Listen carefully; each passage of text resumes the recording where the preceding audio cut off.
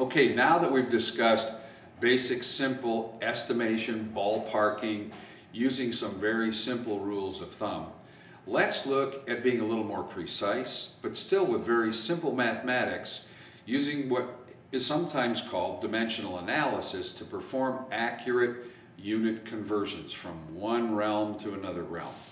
And units are important, so we make sure that we get our quantitative analysis done correctly on system design or preparation for system planning and so forth and, and troubleshooting.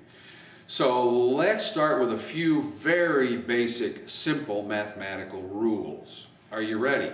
Here's the first one.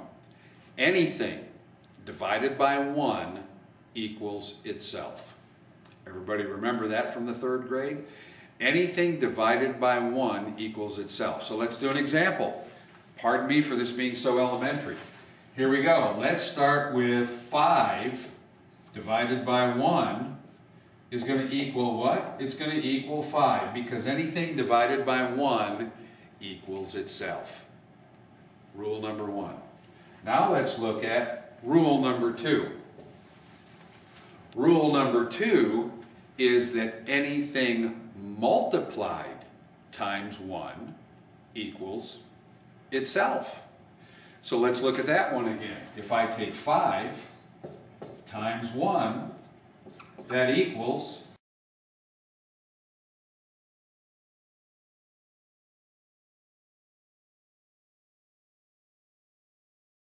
divided by itself equals 1.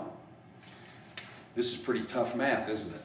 So now let's take that 5 divided by 5 equals 1. Anything divided by itself equals 1.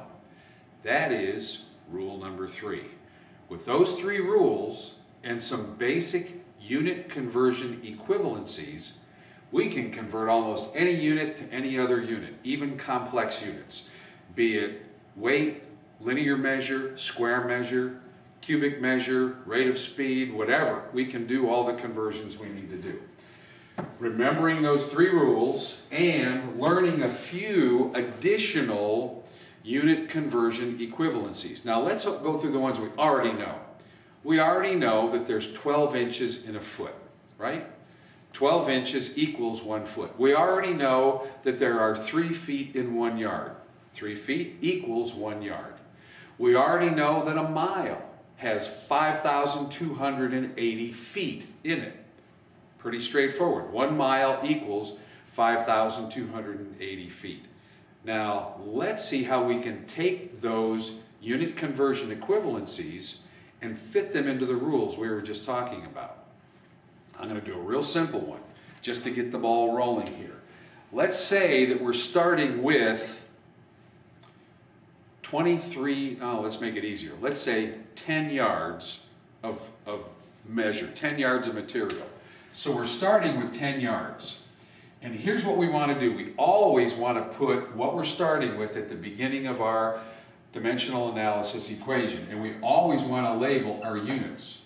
So there's our 10 yards. And to keep it simple, because I'm going to be building fractions as I go across the board, I want to put this over 1.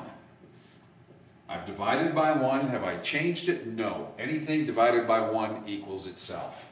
And I'm going to make this a parenthetical quantity. That's what I'm starting with. Now that I know I'm starting with 10 yards, what I want to know is, is how many inches are there, how many inches are there in those 10 yards? So I'm going to go step by step, more steps than I need to, but this is for illustration purposes. I can multiply this times 1, and I've not changed anything. Here's what I'm going to do. I know that 3 feet equals 1 yard. This becomes a puzzle. Whatever unit is on top and the bottom at the same time cancel out.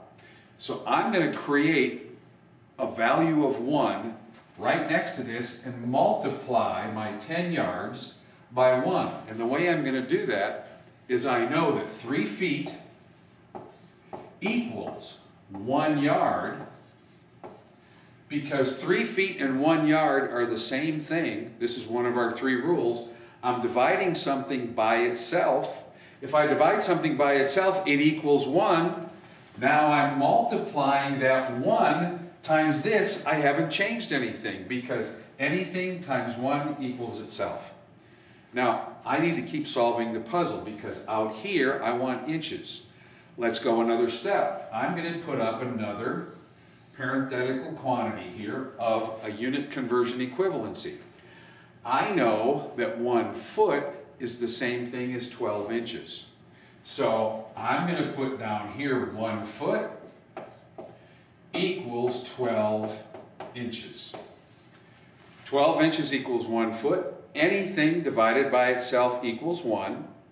Anything times one equals itself. I still have not really changed the quantity of this, but I end up with an answer in inches. And here's how I do it. Units above cancels same units below. Yards cancels yards. Feet cancels feet. And guess what I end up with? The only unit I have left is inches. Now I go through and multiply all the numbers on the top and divide by all the numbers on the bottom. So I have 12 times 3 is 36, times 10 is 360, divided by 1 is 360. I can punch that into my calculator. 10 times 3 times 12 divided by 1 divided by 1 divided by 1 equals 360 inches. Touchdown. I've converted 10 yards to inches by following a very logical process by being able to cancel my units with the way I've set this problem up, and I can apply this, even though it's very elementary in this case, I can apply this to even changing from metric to imperial or imperial to metric with more complex units. We need to have a few more equivalencies though, other than the common ones we already have memorized. So we're going to go through a few that a good solar technician should add to their list of memorized unit conversion equivalencies. Just like you know there are 12 inches in a foot, you should know the rest of these as well. I'm going to go over those right now. Then there will be a little